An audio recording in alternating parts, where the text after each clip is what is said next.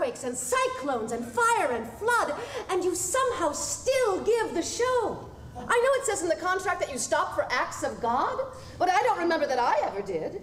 No, nor I, nor your grandfather. Oh, nobody ever knew what a sick man Aubrey Cavendish was those last months. But he played a full season of 35 weeks, dropped dead on the stage of Macauley's in Louisville two minutes after the curtain fell on Saturday night the week we closed. and not only that, but he waited to take four calls.